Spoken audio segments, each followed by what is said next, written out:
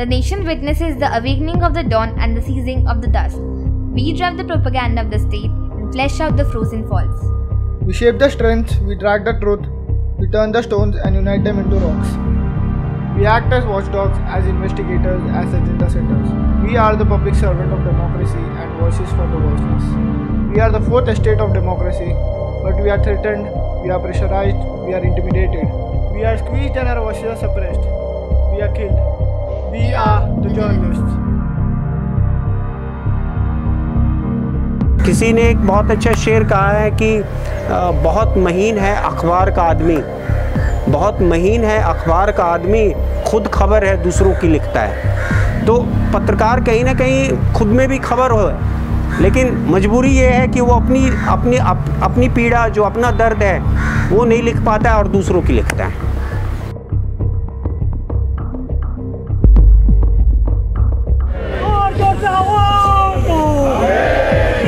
पत्रकारों की हत्या करना बंद करो पत्रकारों की हत्या करना बंद करो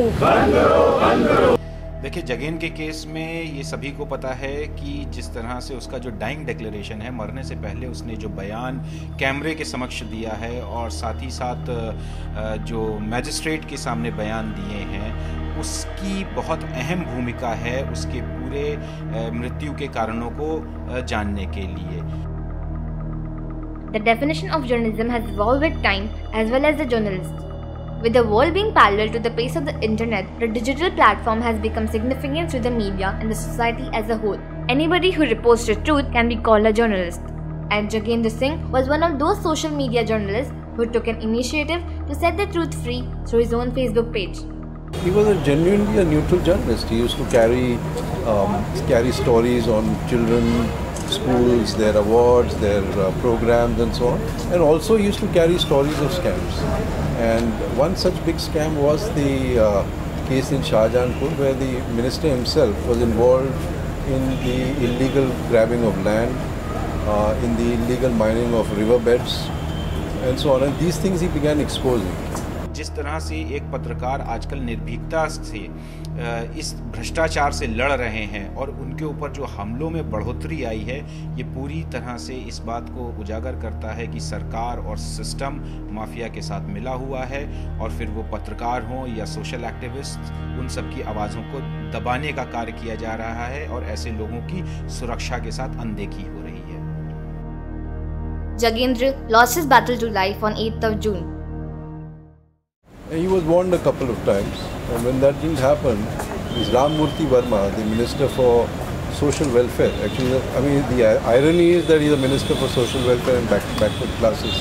So he instigated the police, and they went to his house, and in front of his small boy, they doused him with petrol and burnt him to death. In another instance, Sandeep Kothari, a journalist from Madhya Pradesh, was found dead and he was reportedly killed by the mining mafia. The post-mortem report states that he was burned to death.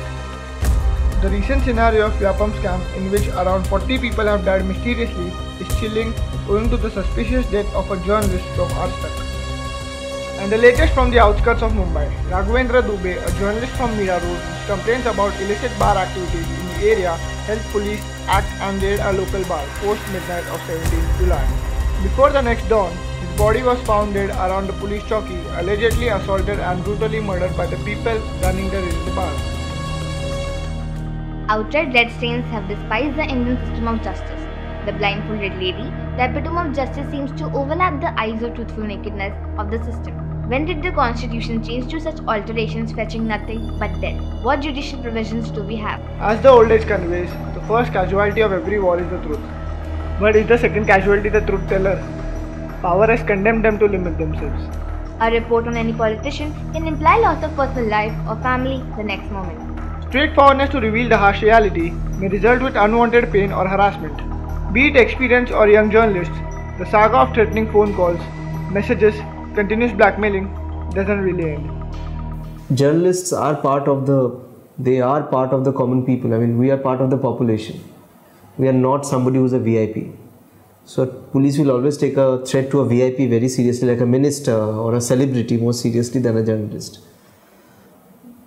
it's it's it's what happens here पत्रकारों के protection पे जब मामला उठता है तो politicians हों चाहे नेता हों उस वक्त बहुत चर्चा होती है लेकिन बाद में वो भूल जाते हैं तो कहीं ना कहीं इसमें जो पत्रकारों पे हमला होता है उस पर कड़े कानून बनाने की बात बिल्कुल ज़रूरी है We revoke the time to act. We sympathize the notions to generosity.